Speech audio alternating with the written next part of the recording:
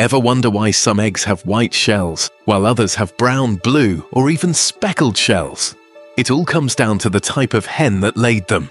In today's video, we're cracking open the science behind why eggshells are different colours, and even exploring why some countries mostly stick to white eggs. So, if you love interesting facts about everyday things, you're in the right place. Eggshell colour is determined by the breed of the hen.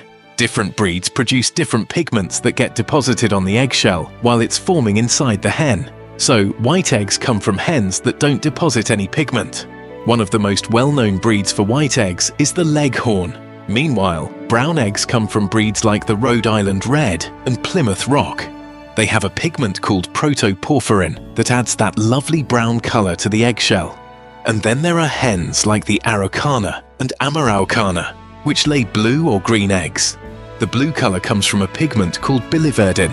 The pigment is applied early, so the colour goes all the way through the shell. This gives blue eggs that gorgeous colour both inside and out. But here's the fun part. In some countries, like the US and parts of Europe, white eggs dominate store shelves, while in others like the UK, brown eggs are the go-to. So why is that? It's mostly cultural and economic. In the US, white eggs have been historically preferred partly because leghorn hens are more efficient layers. They produce a lot of eggs, and their smaller body size means they require less feed. This makes white eggs cheaper to produce, so over time, consumers started to associate them with affordability.